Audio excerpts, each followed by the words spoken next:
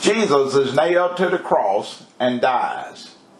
Now, from the sixth hour until the ninth hour, there was darkness over all the land. And about the ninth hour, Jesus cried out with a loud voice, saying, My God, my God, why have you forsaken me? Some of those who stood there, when they heard that, said, This man is calling for Elijah. Immediately, one of them ran and took a sponge, filled it with sour wine, and put it on a wreath, and offered it to him to drink. The rest said, Let him alone.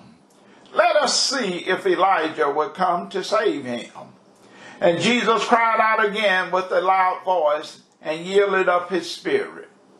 Then behold, the veil of the temple was torn in two from top to bottom, and the earth quaked, and the rocks were split, and the graves were opened, and many bodies of the saints who had fallen asleep was raised. And coming out of the graves after his resurrection, they went into the holy city and appeared to many. Why did Jesus die on the cross? When we really understand this, we will never again allow Satan to condemn us. Those who are believers in Christ Jesus can no longer be condemned. You are no longer under God's judgment. Here is how God has showed his love for us. While we were still sinners, Christ died for us. The blood of Christ has made us right with God. So we are even more sure that Jesus will save us from God's anger. Once we were God's enemy, but we have been brought back to Him because His Son has died for us. Now that God has brought us back, we are even more secure. We know that we will be saved because Christ lives. And that is not all. We are full of joy in God because of our Lord Jesus Christ. Because of Him, God has brought us back to Himself. This is why Jesus is called Emmanuel, which means God is with us. He brought us and God back together. 1 Peter 1 16 through 19 says, God paid a ransom to save us from the empty life we inherited from our ancestors. And it was not paid with gold or silver, which loses their value. It was the precious blood of Christ, the sinless, spotless Lamb of God. The Bible teaches sin not only separates sinners from God, but imprisons them. They are slaves to sin. Jesus was separated from God on the cross so that he could pay the price for our sins. He said, My God, my God, why have you forsaken me? 1 John 4 and 10 tells us, here is what love is. It is not that we love God, it is that he loved us and sent his son to give his life to pay for our sins.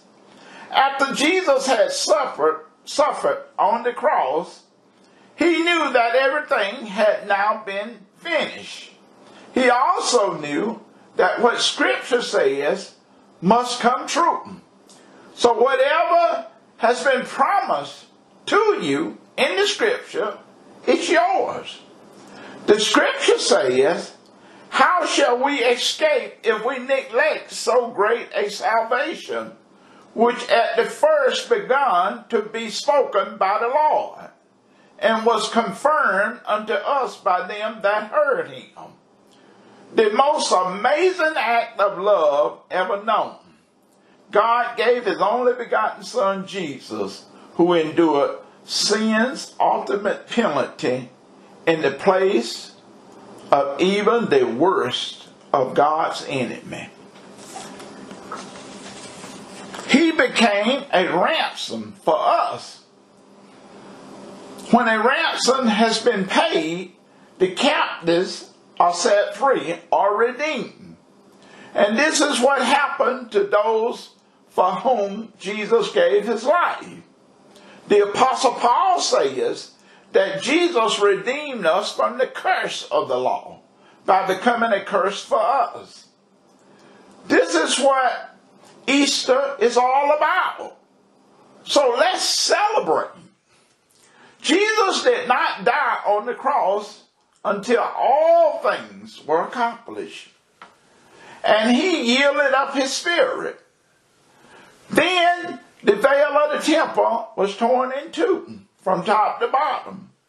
And the earth quaked, and the rocks were split, and the graves were opened, and many bodies of the saints who had fallen asleep were raised and came out of the grave after his resurrection. They went into the holy city and appeared to many. I believe those were people who believed in Jesus and died long before he was crucified on the cross. After Jesus' resurrection, they was raised and came out of their graves and went into the holy city and appeared to many. I also believe they appeared to many people just as Jesus appeared to many people when he was raised from the dead. There were many witnesses to their resurrection. Jesus said unto Martha, I am the resurrection and the life. He that believeth in me, though he be dead, yet shall he live.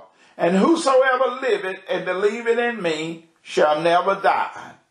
I, Pastor Larry but a Redeeming Light Ministries. You have a blessed day.